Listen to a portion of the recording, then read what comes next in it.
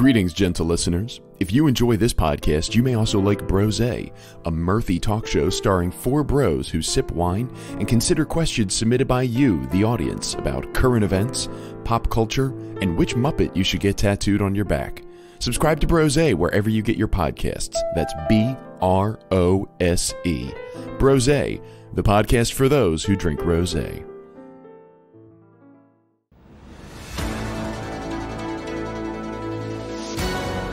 What does Space truckers, have to do with Treasure Quest? what say we turn this octopus into a cuttlefish? Does the B in Bezos stand for Boy Am I Hungry? Are you ready for software engineers to ruin your life? Again? Do you ever feel like a plastic bag filled with water? Would you like to? The answers to these questions, plus sports, emotional weather, and State Up, that's tonight. On Person and Person.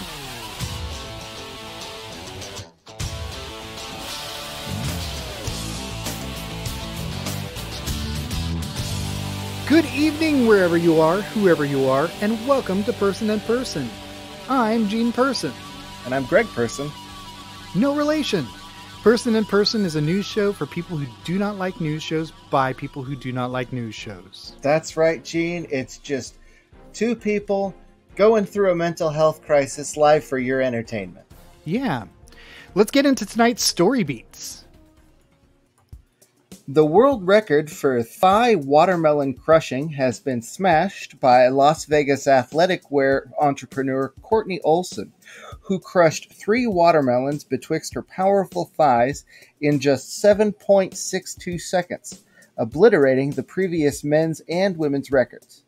If anybody needs me, I'll be respectfully watching it on YouTube over and over again. Okay. I'm just saying, Gene, you know, The- I don't want to be a creep, but Courtney is not the only one who is crushing, and she's not the only one who wants to smash. All right. The Girl Scouts are reportedly sitting on a payload of over 15 million boxes of Thin Mint cookies after sharp downturns in sales numbers during the pandemic. They're urging people to buy them online, but if those cookies are otherwise going to waste, I strongly encourage the Girl Scouts to look into my now submitted blueprints for the town of Cookietopia. NBC is halting production of their new game show, Ultimate Slip and Slide, because a Giardia outbreak on set caused an undisclosed but reportedly very high number of cases of explosive diarrhea. Skeptics and believers alike are calling it the strongest evidence for the existence of God since Jim Caviezel got struck by lightning. A Cincinnati, Ohio man crashed his car into a utility pole after a cicada flew into his car and smacked him on his face. The man panicked, jerked to the wheel, and went straight into the pole after the incident. The cicada was quoted as saying, eh, eh, eh, eh, boop, boop, boop, boop, bee-aw. Bee-aw. Bee-aw. Bee-aw. Boo. All right, that's enough. I knew it was coming this time, and you still got me. Yeah, it's, I, it's always nice to do a callback every now and then. Well, you should always end a comedy set with a callback. We know that. And I'm gr- wait. wait No, what? we're not there yet. Slow down, Gene. Okay. Louis Gohmert, widely and justly regarded as the stupidest man in Congress, which puts him high in the running for stupidest worldwide, recently asked a representative of the U.S. Forest Service to alter the orbit of the moon to combat climate change. Fun fact Gohmert's last job was as a federal judge. Oh Jesus. Ah. I mean, not for nothing, but Gohmert's level of stupidity is such that he can't have a regular job. So the only Right. the only, you know, options that are open to him in society are federal judgeships and elected office. Right, right. A commercial lobster diver in Massachusetts claimed this week that he was swallowed whole by a humpback whale, but survived after being spit out 30 seconds later with bruising but no serious injuries. The man reportedly worried for his children while he was stuck in the whale, especially his oldest, who was meticulously carved in pine. When, when asked whether his name was Jonah, the man replied, Call me Ishmael. All right, enough about the news. Let's get on to main news. Treasure Quest, a PC game released in 1996 by Sirius Publishing, Inc. The game involved navigating 11 rooms of a mansion to decipher a famous quote from a series of puzzles, visual clues, and anagrams. It promised a million dollars to the player who solved it. The development of Treasure Quest was fraught with efforts to keep the solution from being available to employees. It resulted in two teams developing about half the puzzles each. In addition, a large number of typos were included to further keep the solution out of sight. Unfortunately, this method of development prevented the teams from reporting potential errors to the other team, and so several mistakes and errors made their way into the actual game. The company sold a companion book designed to help readers in their quest to find the solution, but it was of negligible use, and some speculate the typos and errors that made their way into the final product were done so intentionally to drive sales of the book. I had this game, and Jesus was was it hard to even know what was expected of you? It really just felt like a confusing mess. Granted, I was only 18 at the time, but even now I think I'd struggle to assemble anything based on all of the scattered clues. However, one Oregonian did. A school teacher named Paul Wigowski of Woodburn, Oregon submitted the correct solution, but his res- response was disqualified by Sirius due to his failure to put the required registration number in the upper right hand corner of his submitted solution, which apparently was required by the official rules of the game. Shortly after, Sirius announced that the prize had been claimed by someone named P. Dryzen of San Francisco, California. P. Dryzen never appeared in any online chat rooms or forums, never publicly appeared at all, seemingly. When some users noticed that the name P. Dryzen could be an anagram of End Prize, the controversy grew. It's one unique slice of gaming that overlaps treasure hunting from a very specific time period in my personal history, and it's kind of an interesting story. But what does that have to do with Space Truckers? It's a 1996 sci fi comedy by Stuart Gordon, who is the most underrated director of all time.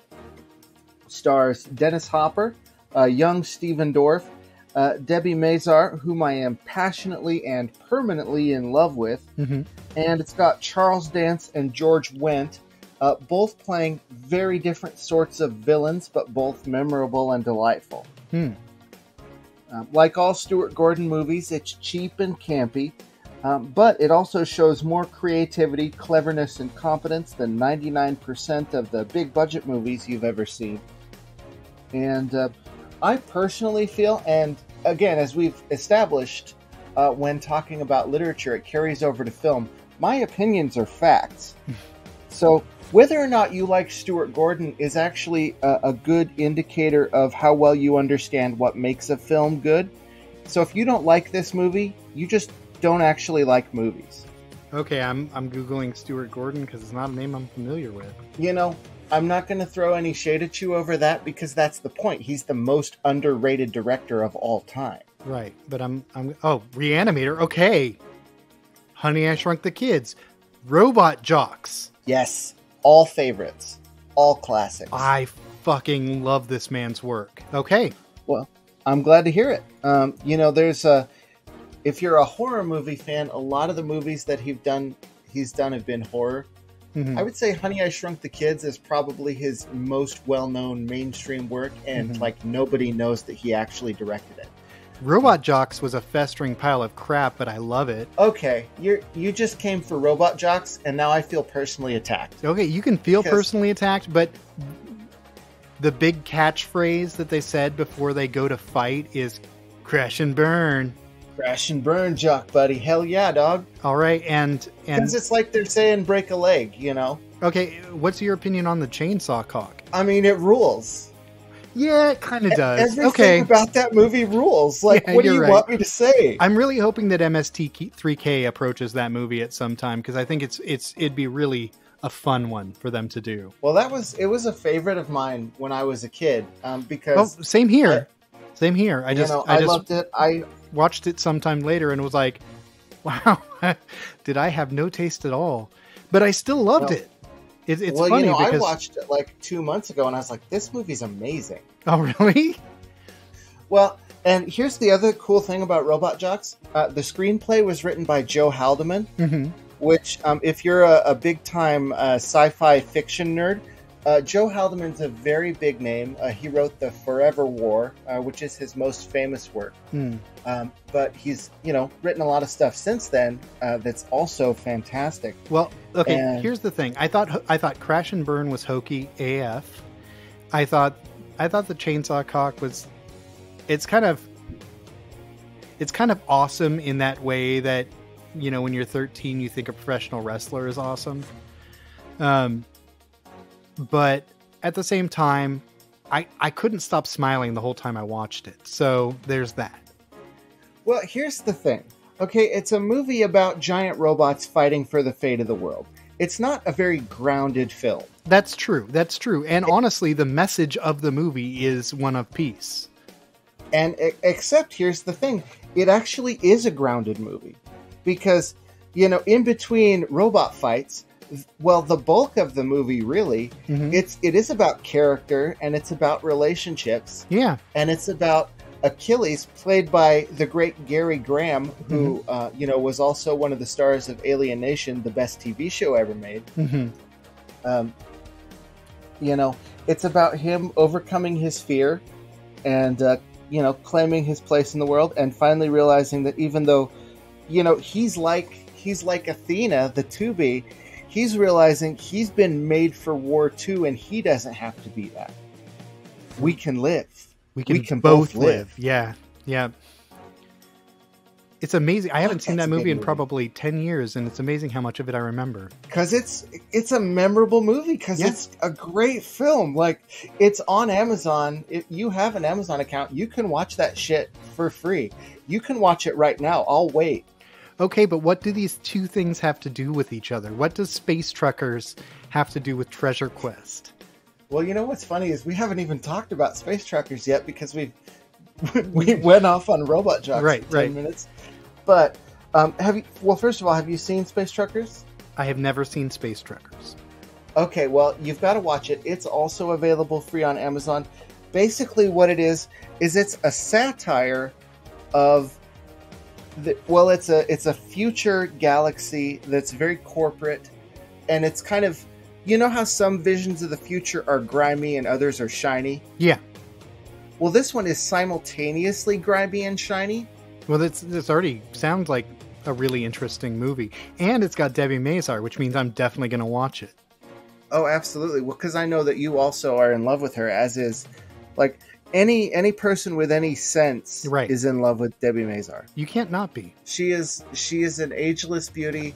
There is something about her that literally from the first time I saw her, which I can't remember when it was. We talked about this uh, I think a couple of weeks ago.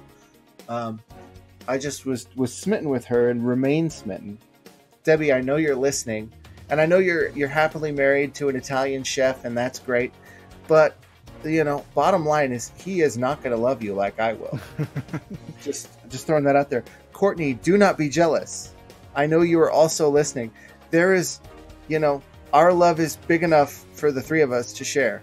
And and since we're talking about Courtney and Debbie and our love, let's also let's also throw our our, our fabulous Tim and his wife into the mix because we we got to let you guys know that we have enough love to go around. And for that Yes. matter, Gil, I mean, yeah, you are also currently married to another person. I'm just saying, you know, we're we're big love kind of guys. We Yeah. are we are the Bill Paxtons in this scenario. yes. Although But Although maybe we're also a little bit of Chloe Sevigny and Jeanne Tripplehorn, Ginnifer Goodwin. You know, maybe we're a little bit of the wives because there's so many men up in this mix. Is all I'm saying. True, true. But to return to the subject of um, space truckers, Oh yes, sister hum- husband. Thank you for reminding me. you are welcome, brother wife. um, the the plot of the movie is Dennis Hopper plays a space trucker, and he's got a load. He brings it in Uh, the boss, he's an independent trucker. The boss who had contracted him for the load screws him out of his fee. He has to take another load. The load is full of killer robots. Hmm. They get captured by pirates. Uh, Charles Dance is the pirate king, and he f- fucking slays in this I, movie. I, I, I cannot think of a better actor to play a pirate king. oh god, he's well, he's always brilliant, right. and he's almost always you know the villain because he's so perfect as a villain. And then George Wendt, huh, is is the other villain. Yeah, George Wendt plays the boss of the trucking company who Okay. screws uh, Okay, who screws the yeah. trucker. If if ever there was a character actor who could play the boss of a trucking company, it's George Wendt. Exactly, and he he nails it. Everybody's performance, and here's the thing: here's why Stuart Gordon is a great director. You're like, oh, here's this movie about what zombies, dead bodies, robots, whatever. The thing is, he's gonna get real performances out of his actors. Yeah. They're, you know, every actor in a Stuart Gordon movie is gonna give one of the best performances of their lives. Yeah. That's true. The design, the design of this movie is so fun and so smart. Okay, I got I got two words for you. They'll make sense when you watch the movie, and you'll be like, "Oh, that's great. That's like the best of Terry Gilliam." Square pigs. okay. Yes, that is that is the cargo that uh, the trucker is hauling. Um, square pigs, What and um uh, uh, so so we've gushed a lot about space truckers now. yeah, tell me more about this treasure quest. So, unlike this polished vision that was Space Truckers, Treasure Quest was this cacophonous puzzle that n- none of it seemed to make any sense or tie into any other part of it. There were so many problems with it. Um, I remember it crashing all the time. And and I, I guess I'm allegedly there's a chance that uh, that the the company that published it gave the prize to themselves. Well, and that's what it sounded like to me. And this is the first time I'm hearing of this story. It sounded like a scam right. Because they deliberately set this thing up to be as fucked up and insoluble as possible. Right. Somebody solves it and they're like, "Oh no, sorry, Right. we forgot I mean, to mention." that's kind of how it plays, and, and and I'm having a hard try, time tying that to this magnum opus of of Stuart Gordon. Well, the the truck the trucking boss, uh, the the guy who owns the Square Pigs, Mhm. he screws the uh, the trucker Okay. out of his fee for his load. okay. So there's that. That's we've we've got something at least. Um, And then And, then- interestingly, the PC game was released in 1996, and this movie was made in 1996. Oh shit. Okay, I think I'm seeing what's happening here.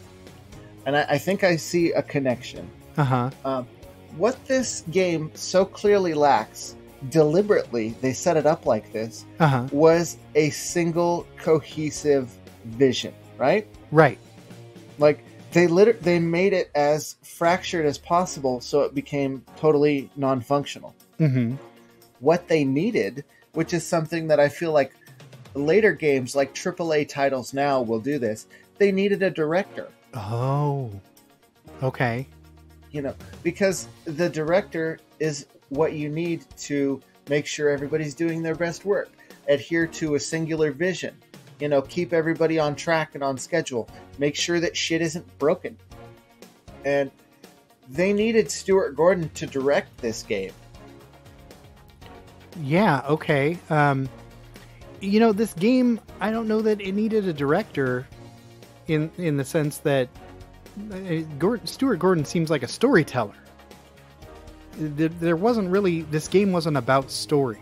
It was about puzzles. It was about well, I guess there was a, a little bit of a story in the in the game. This uh, this wealthy man left his fortune to the person who solves his clues, but it really i mean that was such a minimal part of the whole experience Yeah, you know that's that's like uh, pretty thin. I, you know, thinking about it, that's something that is different about games now versus games then.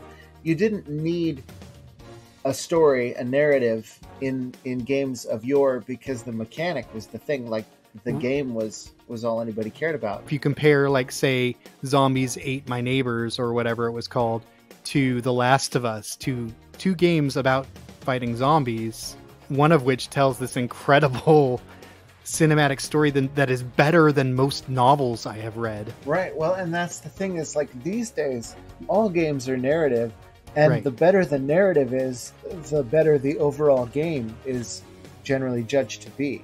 right because games have have ascended beyond the mechanic and and become an art form they really are a mechanism for telling a story that is its own thing but that still doesn't tie treasure quest and space truckers together i think that 1996 is a strong tie. I'm wondering if the connection between these two items is that we were just feeling a little nostalgic for 1996 this week. That's there's something in the air that that made us both think, you know what, that was a good year. Yeah, yeah, that's what I'm thinking. That's the connection. 1996. Yeah, and We that did it. and that works. It's it's what we're going with. It was it was a year of highs and lows. It was the best of times. It was the worst of times. It was an age of space truckers. It was an age of treasure quest. All right, so let's move on to breaking news.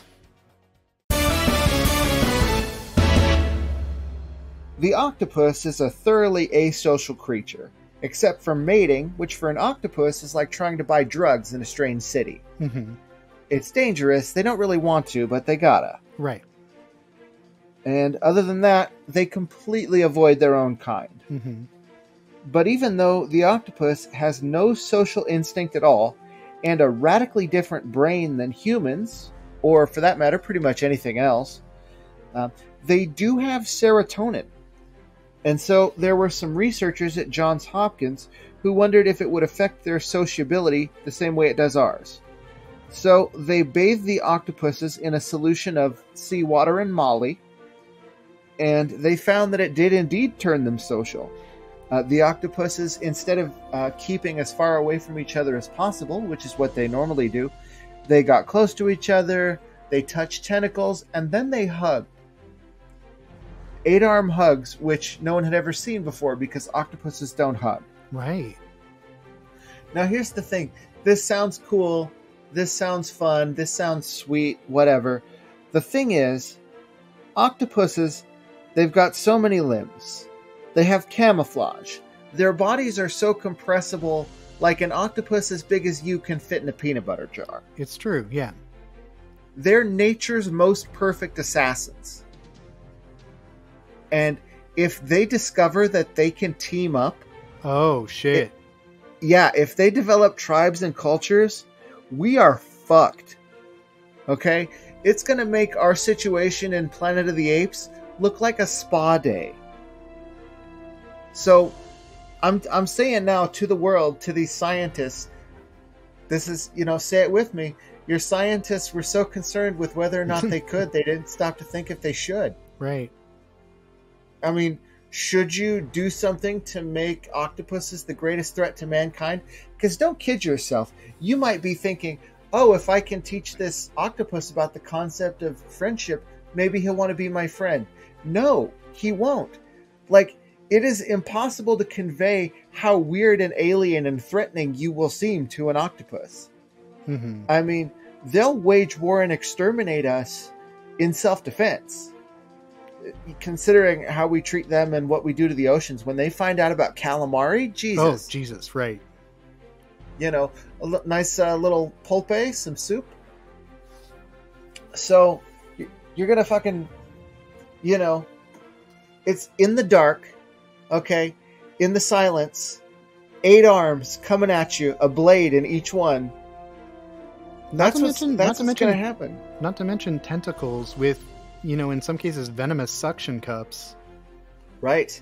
The blue spotted octopus, the most dangerous octopus, I Well, not believe is poisonous. I mean, so so there's there's that, but there's also there's also octo- octopuses that have have actual venom in their suction cups that are that are not the blue octopus that that maybe won't kill you, but will sting the hell out of you. right, and you know, if there's enough of the octopuses, if it's five or six of them in a gang, maybe it will kill you. We don't know that. Right. And I mean, Interestingly, when you were reading when you're reading this story and you mentioned that they have a different brain than than most humans and no social instinct and they have serotonin, I was thinking, am I an octopus? you might be an octopus. Actually, count your limbs real quick for me, please. Okay, one, two, three, four, five. Oh fuck! You're a pentapus. I'm a pentapus. All right. On my story this week, a new online petition and exercise in the most beautiful kind of creativity, the kind that is a complete waste of time, has started to circulate online. Over 4,800 people have signed the Change.org petition as of this time, asking Jeff Bezos, the second richest man in the world, to please buy the Mona Lisa and eat it. yes. Because what good is wealth if you can't digest a priceless work of art every now and then, and potentially rescue the French government in the process? The government has flirted with the idea of selling the famous work by Leonardo da Vinci as a method of fundraising, thinking it could fetch as much as 50 billion, though I suspect that may be optimistic. Given the other story we've covered on Da Vinci's work, containing extremely toxic bacteria and fungus, not to mention toxins in the paint itself, this may be perhaps the most dangerous meal ever entertained by a billionaire. You might think I'd be all for it, but I have a suggestion. I think what he should do is buy it and have a dinner party, inviting other billionaires to bid on seats at the table. This is all an exercise in daydreaming, as Bezos obviously isn't going to eat a priceless painting unless compelled to do so, with, you know, say, a gun at his back. Not that I'm advocating for anyone to do such a crazy thing. Wink. In the meantime, we'll just have to settle for the fact that Warren Buffett paid a couple of million to turn Monkey Christ into a Warren Buffet. Allegedly. Okay, I have to know who is alleging that. Is that is that you or is that alleged by other people in the world? Yeah, Because- it's, it's me. It's me. Okay. Okay. Well, I mean, it's still probably true because you're a journalist, and if you lie, you get in trouble. So right. I'm a journalist. now, here's the thing. I agree with you. I don't think this is really going to happen because Jeff Bezos is going to spot right off that this is just a picture of a person and contains no actual human flesh. yeah, there's no adrenochrome in there, so why would he want it? An adrenochrome. oh my gosh. So good. But no, I, I agree that he should do this because I think that if he were to buy and eat the Mona Lisa, that would become the greatest work of art of all time. right. Right. That it would be a work of, of performance art. Absolutely. Because the the Mona Lisa I I have a problem with the Mona Lisa. I have a bug up my ass about this and I'll tell anybody who will listen. And you're listening to my podcast right now, so buckle the fuck up. All right. the Mona Lisa is not a particularly good or interesting painting. No, it's not. Okay. It doesn't even approach the best of Da Vinci's work. The only reason it's famous is that it was stolen early in the 20th century Mhm. and the crime became a whole deal. But the reason it was stolen is that it was small. Right. Not because it was a great work of art, because it was easy to hide under your coat Mm-hmm. so that's the painting that you all have been venerating and fawning over for a hundred years. It's not particularly good or interesting, so spare me any of your bullshit about the Mona Lisa's enigmatic smile. Shut up. and uh, yeah, I hope he eats it. And, you know, I hope that fungus just really goes to town. Yeah. Are you warm? Are you real, old Jeff Bezos? Or just another cold and lonely, lonely work of art? That is lyrics to a song, but I don't know which one. Uh, that, that would be Mona Lisa. All right, Oh, of course. it's on to uh, on to sports. An Australian entry into our sports segment, sheep counting, involves 10 competitors, all who try to count several hundred sheep as they rush past. The competitor with the most accurate count wins. I tried to watch some YouTube videos of the sport, but I kept falling asleep. How these powerhouses of the athletic world manage to stay awake is beyond me. They truly are cut from a different cloth. No doubt, a wool cloth. Now, I do want to say something here uh, to you and also to our listeners. When you made the joke about falling asleep watching videos of sheep counting, Mhm. I laughed. I want you to know I laughed involuntarily. that that laugh is not an endorsement of that joke. I think it's a great joke. well, I mean, it made me laugh. So, what can you say? But I want you to know I am a sophisticated man, and I have I have a a, a nuanced and and uh, elevated sense of humor, and that joke did not work on me. I just laughed involuntarily. It was like a hiccup. Right, right. Humor hiccup. Got it. Okay, folks, it's time for our emotional weather. This week it's rushed, blushed, and flushed. Rushed. Now this is uh, one for Eugene, uh, not Eugene, but you, comma Gene. Mm-hmm.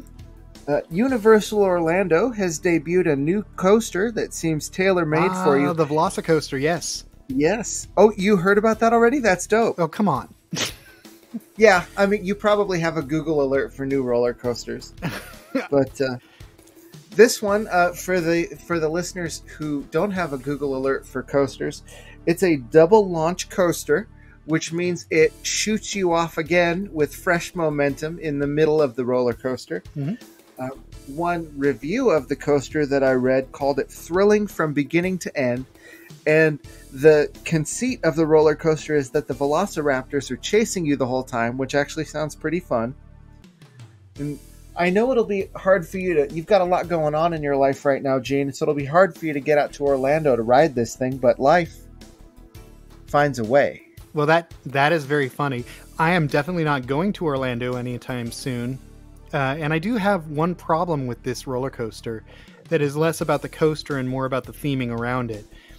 Those are not velociraptors. Every image I've seen is a Deinonychus dinosaur, which is larger than a velociraptor. Velociraptors are about the size of chickens. and they have feathers. Yes, we know this, but the here's my here's my fix for that. Here's my head canon that resolves that issue that Yeah. that we have with Jurassic Park. In the fictional world, Oh, so in, Jurassic in the Jurassic Park universe, Deinonychus was called a velociraptor. Is that is that what you're proposing? Or, well, and the thing is, these are these are cloned, genetically modified creatures. right. So they probably got an original Velociraptor and saw it, and it actually did look like a turkey. And they were like, "Well, this is dumb. Let's make it bigger and like you know, big teeth and claws and stuff." Okay. Okay.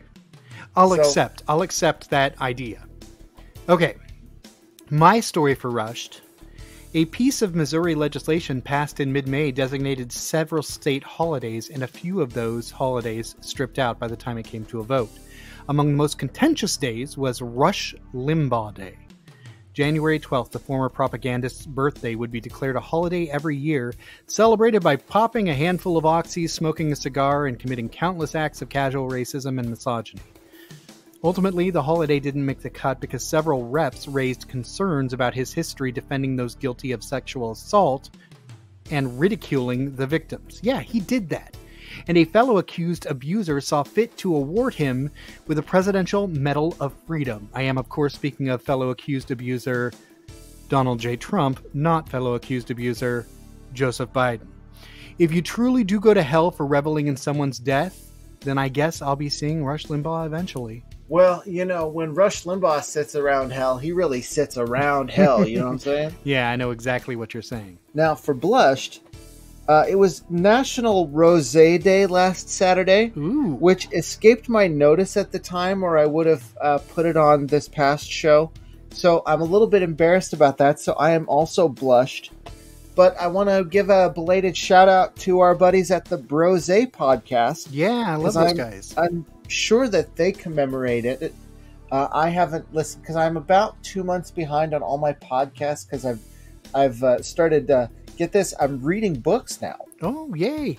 I Yeah, so I'm actually a little I don't think I'm 2 months, but I'm a little behind on the Brose podcast myself just because of the you know, the chaos of my recent life. I don't need to go into any details on that. Doesn't matter. Yeah, it's none of your business, guys, but Gene is uh, burning the candle at both ends right now. Uh, again, I just want to let people know, of course, there's the little uh, thing that plays at the beginning of each of our episodes.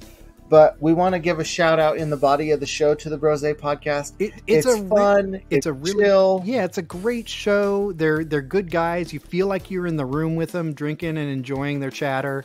It's it's a good show. That's the thing. Like I say all the time, like, oh, you know, I don't really go for a lot of these hangout shows where people are just hanging out on a podcast. But it's like, well, no, this is a good hang. Yeah, Like if you just want to hang with that's some the thing. bros, If you can make it compelling enough, it's it's a. I, I really enjoy Brose. I really do. Me too. I'm glad that we're buddies because because we're pretty tight with these guys now. We're we're basically all sister brother wives with each other. Right, right. That's fun. All right, my blush story. I want to talk about a couple of mistakes you might be making when it comes time to do your makeup, particularly your blush. First and foremost, remember to choose a shade that's appropriate to your skin tone. If you got cool tones, you're gonna want to you're gonna want to avoid a warm shade because that's gonna make you look like a Cupid doll. And if you got warm tones, you're gonna want to you're gonna want to avoid a cool tone because you're gonna look washed out. Also, I can't stress this enough invest in good brushes. It makes all the difference. Hit up the apples of your cheeks in an upward motion. Remember to blend, and keep in mind that a little bit goes a long way. Now, Gene, I have uh, what is referred to as an olive complexion. Mm-hmm. I have a, a sort of a green undertone or a yellowish kind of undertone to my I, skin. I knew it. You're a fucking reptilian. yes, uh, I am Jeff Bezos.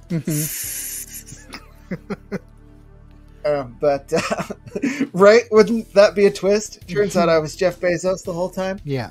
Um, but uh, what is the right blush for me? Because anytime I've tried to do anything that was like a warm color, I look sick. I look like I'm having some kind of vascular problem. If you've got an olive colored skin, I think that honestly, and this is appropriate given we just talked about brose, I think a, a rose color would probably be the best blush to use. Okay. Now, what's interesting is my my sort of natural color, like when when color goes into my cheeks. Mm-hmm. I feel like I look like like an absolute maniac. Um, I I feel most like how I feel like I should look when I'm very pallid.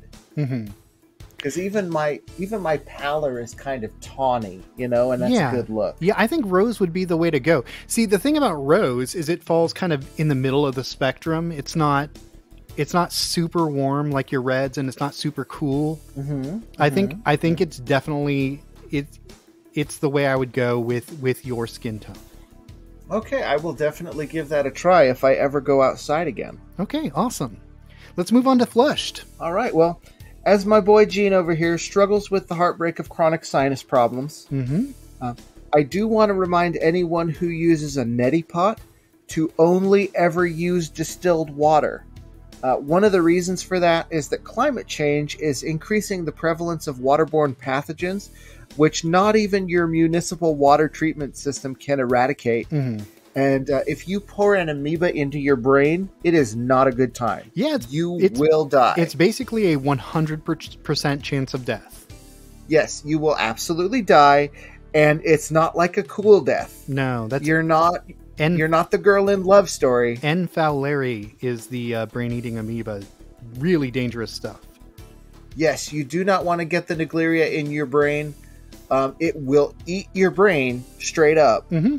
And it, it will So it will hurt the whole time it's doing it too. yeah, yeah. It's like, uh, well, I'm trying to think of uh, another thing that eats your brain, but I mean, you don't really need an analogy to understand this. It eats your brain. No, yeah, it's don't, terrible. Don't put it in your. Don't put it in your brain. As an won't eat it. alternative, you can you can use tap water and stuff in in a neti pot. Just make sure that you boil the water for 60 seconds and get it to a true rolling boil and then let it cool and, and you can use it. But uh, definitely don't take chances. Be safe.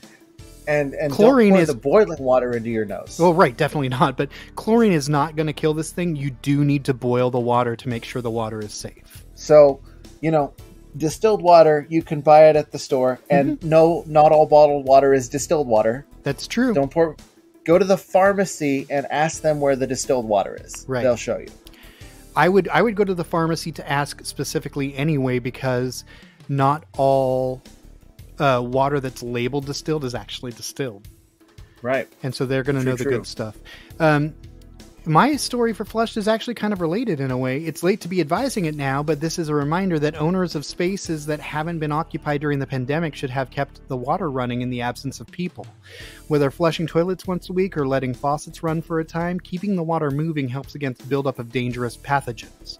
Among them, Legionnaire's disease. So as things open up, probably best not to drink any public water. Definitely don't drink any stagnant water. Yeah. Never drink stagnant water. Yeah. Even if even if you're just drinking water out of a glass, swish it around a little bit first, get it moving, then drink it down. All right. All right, as you know, every week our investigative team uncovers a detailed and harrowing story on food crime, and this week Greg Person has the story.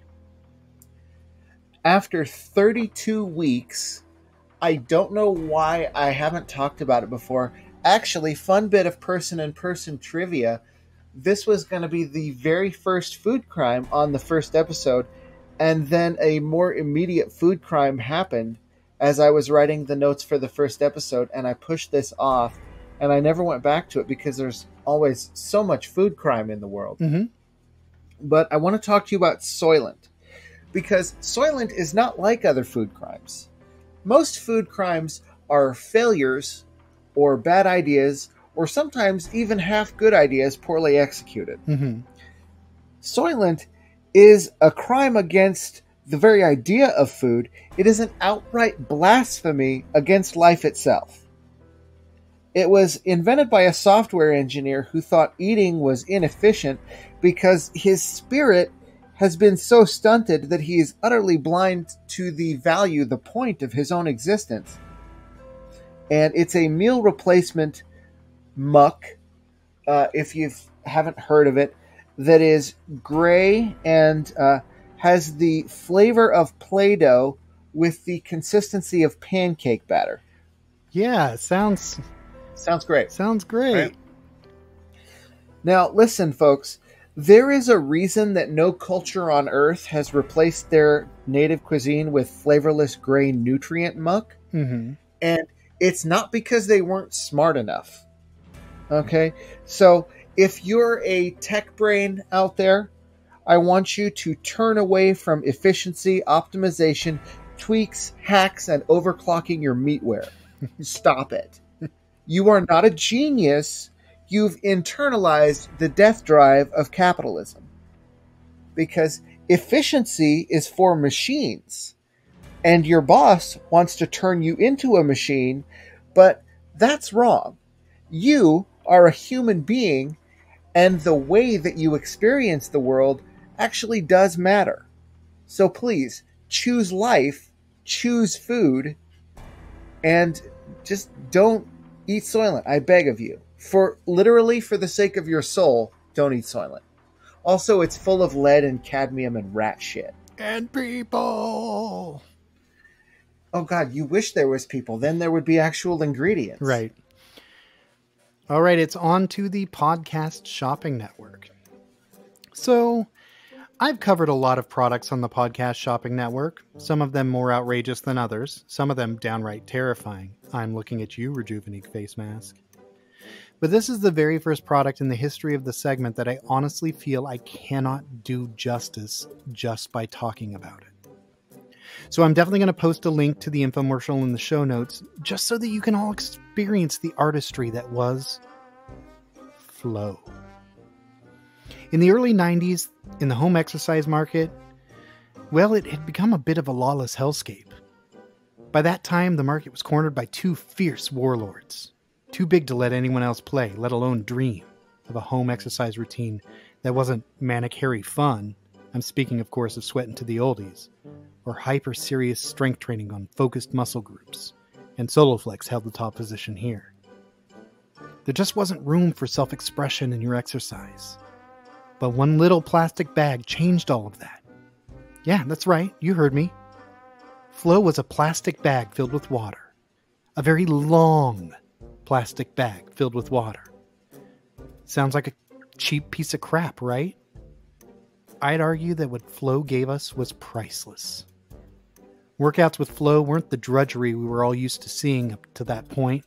They were perpetual, engaging, timeless dances between a person and a plastic bag. Choreographed to music, sure, especially if it was heavy on the saxophone. But it was more than that. Those twisting motions touched the spirit, and on some level, I truly believe it was a workout choreographed to all that is beautiful, all that is peaceful, and all that is good in the world. At the same time as you were getting fit and setting the world of dance on fire, you were training heavily for an, an inevitable battle with a snake. Maybe the snake is self image. Maybe it's the judgment of society. I like to think that it's capitalism. I'm not sure what happened to Flo. All a Google search got me was a bunch of progressive commercials. But I do know its a commercial failure was the killing blow to all hope we had as a species. In the waning years of the human race, at least for the t- for a time, we'll have the infomercial to watch and celebrate as we contemplate what might have been if the world wasn't what the world is, and if Flo had only lived. Wow. Powerful stuff. This Okay, folks, I'm I'm watching the infomercial right now of people using the flow. Um, I I can see why it didn't catch on. You would not do this in public. You would not do it in front of a mirror. But it is weirdly beautiful. Right?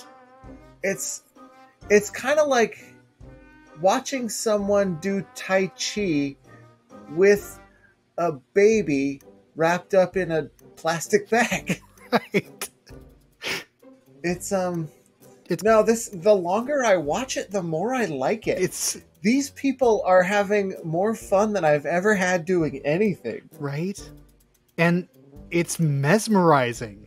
It is like I'm not sure about how much of a workout this is, but I would if you set this to music, um, you could show this on the you know stage of the Metropolitan Ballet. Yeah. And if you This- if you look at some of their faces, they are in this incredibly peaceful place. Oh, they they've been transported. Their their bodies are finally moving in harmony with their spirits. Right. I feel like that's what the flow is allowing you to do. Like, oh, see, and now here's one kind of putting a little bit of a hip hop twist. Yeah, on yeah, it. yeah. I get it. I get it. Yeah. So this is it. you know, normally I, I make fun of these products. I shit on them. Is this product ridiculous? Yes. Oh, it definitely But- is ridiculous, but but wow. if you can break through that mental barrier, if you can say, you know what, I don't care if I look ridiculous, you're going to find a level of contentment that you've never known in your life. and that's what we missed thing. out on when Flo failed. That's that's all I have to say on the matter. I feel like it, give Jackie Chan one of these things, Oh my god. Or I can't even imagine. Jet Li or Donnie Yen. I mean, you could, you know, it's, it's beautiful. Like they're flipping, they're spinning. hmm these are people that you look at them and you're like, that guy's not a spinner. He's not going to do a pirouette. And then he does a pirouette. Right. And you're the bag made him do that. Right. The bag freed the dancer that was inside him all the time. Okay, I got to stop watching because like Right. this is I literally Yeah. Yeah. This is this is The- why I the said flow. that you can't just you can't just I can't you can't just listen to my description. You have to see it to understand. yeah, you know, give this give this a chance. Watch the infomercial and you'll be like, "Oh, I get it. Yeah. This is it's like watching your inner child right. play Exactly. All right, let's and Oh, good. it's you know it's like you're the bitter cynical adult that you've become it's like seeing your inner child at play and realizing like i used to love myself right. All right. Uh, that's it for Podcast Shopping Network. Let's move on to State Up. This week, the state of Kentucky. The thing about Kentucky is that you can check out anytime you like, but you can never leave. I've seen uh, photos of Kentucky, and the grass is fucking green. Bluegrass state my ass. In Kentucky, all turtles are protected species because any one of those little bastards could be Mitch McConnell. It's true. Kentucky is home to the infamous Hatfields and McCoys, who I believe were members of the bands Metallica and 90s Euro dance group The Real McCoy. Everyone in Kentucky knows all the words to Tub Thumping by Chumbawamba. Nobody remembers how they all learned it or why. Kentucky's postal abbreviation is one of the only state abbreviations suitable for a joke about anal sex. Our final segment tonight, as every week, is Person to Person in Person, where we share your val- valuable feedback with our audience. Um, we do have some new feedback. Okay, so this is the email uh, we got from Richie, who is one of our original Tims, one of our best Tims, and a co host of Brose. Indeed, one of the best podcasts. I absolutely agree with you about the end of Kim's Convenience. The show had legs and ended in such a point that it really should have continued at least one more season. I was surprised they didn't focus more on Umma in season 5. I felt what they did with Jung's relationship was forced and garbage, true, and really want to see the main cast grow, especially what was going on with Janet. I was bummed we didn't get an actual finale, but just a season finale. I would love to know some of your favorite wholesome sitcoms. Does Parks and Rec count? Because that's mine. I would love a sitcom based haiku. Love the show, hate the puns, keep up the good work. Okay, a little bit to unpack here. I think that Parks and Rec absolutely does count because it's Michael Schur. Um, in terms of favorite wholesome sitcoms, let's let's run like a quick top three. Yeah, absolutely. Uh, do you want to do yours first? Yeah, so I'm going to say that my very top one will always be The Good Place, but I'm not going to list that in my top three because that's obvious. We've talked about it at length on this show. Right. Same for me. We, you know, we love the Good Place. We did literally like an hour and a half about it. Right. So I'm gonna say uh, probably for the number three spot, I'm actually gonna put Gilmore Girls on there. Ooh, good pick. Yeah, the, I, I, love the rapid fire dia- dialogue. I think Amy Sherman Palladino is amazing, and uh, yeah, so that that would be my my top three, my number three choice. Uh, I would say, oh, we're going we're going in order from from least to best. Yeah. Okay, wholesome sitcom. Okay, uh, number three is Little Mosque on the Prairie. I mm. love this show. Um, it is it's a show that follows that format of big city professional moves to small town full of oddballs. That's that's a fun formula. Except it's the the sort of stated goal of this show by the producer is to in addition to making a sweet wholesome comedy to teach Canadians about Muslims which hmm. you know I don't want to go into recent Canadian news but I would say mixed results on that hmm. uh, Canadians not so chill as you would guess from their television shows but this show is very sweet the reason it's my number three is because I love it. I love all the characters. It makes me feel happy and warm and fuzzy inside every time I watch it. But it's too gentle and earnest to actually be funny. Oh, I see. Yeah, it's because, you know, humor does require that edge, and this show just won't do it. So it's it's sweet. You should watch it. You will enjoy it, but you will not laugh. I think my next pick might be a little controversial. Uh, I think for number two, I'm going to go with 30 Rock. Because even though it doesn't depict a family like some of these shows do, it, I think at its core, despite all the zaniness and some of the adult themes that are at play, it's still a very wholesome show. I think so. I'd agree with that. Um, and it's super funny. Because it's, the, the, it's not a the magic. Show the magic mix of characters that they created for that and the way they they develop those characters over the seasons is just its own kind of magic. My only problem with 30 Rock, and I don't know how much feedback you're looking for on these picks, is that as the show went on, the the comedy aspects of the characters had to keep getting dialed up and dialed up and dialed up. No, I, I absolutely can see that. That's a very valid critique, I think. Which is, I mean, the same thing happened with Community. It happens with all comedies because you have to do that.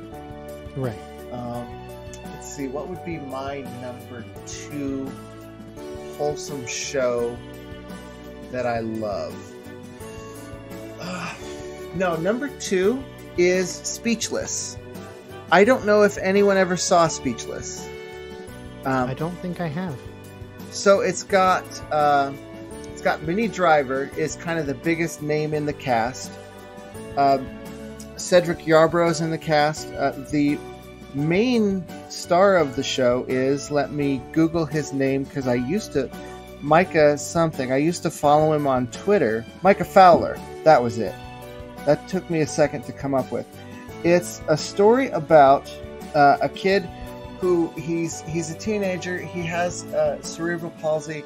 He's in a he's in a wheelchair and he's nonverbal. Even though Micah Fowler uh, is not nonverbal, he plays a nonverbal character, and it's a family show.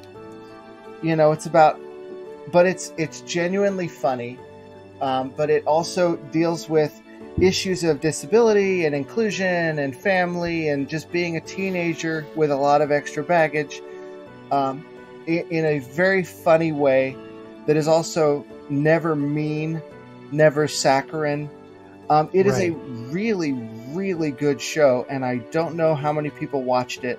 There are three seasons. Um, I would say check it out. I think I'm going to go with uh, Scrubs for my final pick. Oh, fuck, that's a good one. Bill Lawrence, super wholesome, despite again, you know, running with a lot of really adult themes and stuff, uh, dealing with some really big issues in really creative and wonderful ways. Great show. Absolutely, absolutely. Uh, I'm gonna go with a recent show for my number one, Mhm. uh, Superstore. Now, Okay. it's about the employees of a big box store. Uh, it's got uh, America Ferrera. Um, Oh, I love her. I loved Ugly Betty. oh God, Ugly Betty was great. Mhm. um, and that's you know that's the first thing that I ever saw her in. She's she's so good in this. Um, there's a bunch of other actors that you might know. Uh, Colton Dunn is in it. Um, Mark McKinney is in it. Oh, great. Uh, he's hysterical, and it's it's a show about you know these guys that work in a sort of a Walmart esque store, Mhm. and it's like the only workplace comedy that I think I've ever seen that really empathizes with the audience because it's like, look, work sucks and your employer sucks. Like these guys, they have what are for me as kind of a, a working class schmuck, uh, very relatable problems where it's like, I need to go to the doctor, but I don't have insurance. Oh, you know, I, I need to find somebody to watch my kid because I can't afford daycare. Oh, you know, and, and I, I'm worried about So- getting deported, shit like that. It- It's really interesting to hear that because the main reason I even avoided watching Superstore was because I thought it would just glorify, you know, the eponymous store. It is And- literally the exact opposite of that. I have to check it out now. And it's the thing is, is like I'm making it sound like it's this heavy moralistic show. This show is bonkers as shit, Great. and it's it's hilarious. It's so good, and I was worried at the at the end of the fifth season. I was worried that the sixth season would be a bit of a downer because there were rumors of some cast shakeups that would be a big deal, but it all came together in the end. I would say from beginning to end, all six seasons, this show is damn near perfect. Wow. So check out Superstore. So we had uh, we had planned on talking about the first of the two bonus episodes that we plan on recording soon in this segment, but we have run out of time. Do you have any topics you'd like us to write a haiku about? Don't worry, Richie. Your haiku are coming in next week's episode. Folks, that's all the show we have for you tonight. We love your feedback, and there's so many ways to give it to us. Send us an email, personinpersonshow at gmail.com. Tell us what you'd like us to write a haiku about, and we will. Find us on Twitter at AnchorPersons or check out our website, personandpersonshow.com. Until next time, this is Gene Person saying you should always end a comedy set with a callback. And this is Greg Person saying, Square pigs. Good night.